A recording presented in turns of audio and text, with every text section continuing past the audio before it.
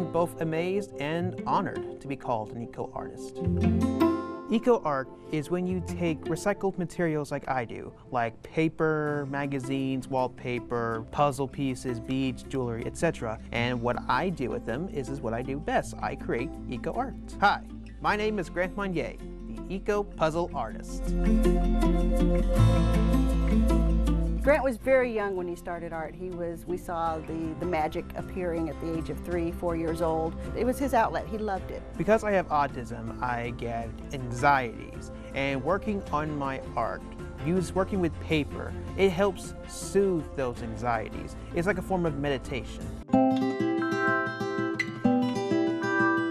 All my materials, I can find them, well, everywhere. People will even hand us some of their recyclable, recyclable materials that they don't want to use anymore, like magazines or puzzles. I like to use puzzles for my art. It's my signature mark. Peeling the prints off the puzzle one at a time so that it's nice and paper thin. Schools have puzzle drives for Grant. His very first piece was called The Sun God, and it was gorgeous. One day, a, a friend of mine asked if she could buy it, and Grant and I thought, oh, let's sell it for like, what, $100, $100. Well, I'm glad that conversation didn't go any further because we did sell that piece during during Hurricane Harvey so that we could stay here in Houston. And we sold it for $8,000. And I have sold Grant's art pieces in the thousands, 8,000, 6,000. I've currently raised over $250,000 for great causes with my art. And all that money has gone back into hearing aids, wheelchairs, summer camps, school tuitions, and even to first responders. Whatever will help the community, we're going to help raise the money. The award I'm most proud of was actually the very first one that started it all. That was the Austin Rodeo Eco Art Grand Championship, and I was 15. After that, teachers took, notice of some of the art I've made and asked if I could teach some of their students. I teach kids and even adults how to recycle and create eco art. And through this process, they are taking all recyclable materials and creating art so it lessens the, the landfills.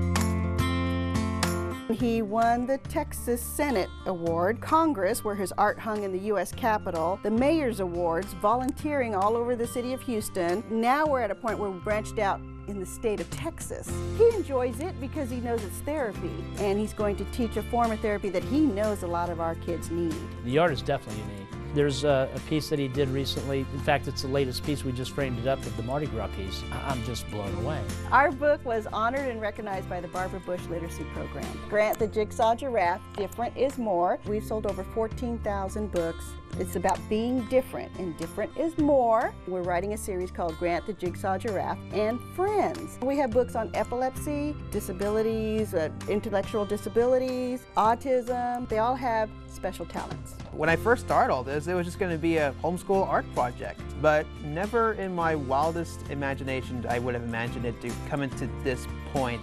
I'm both amazed and honored to be called an eco artist. Every time I see a new piece for them, I say, you're just getting better and better. There's no doubt about it.